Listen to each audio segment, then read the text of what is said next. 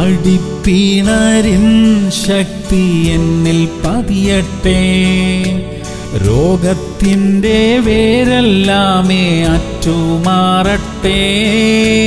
എന്റെ സൗഖ്യം അങ്ങേ ഇഷ്ടമേ. തിരുഹിതം എന്നിൽ പൂർണമാകട്ടെ.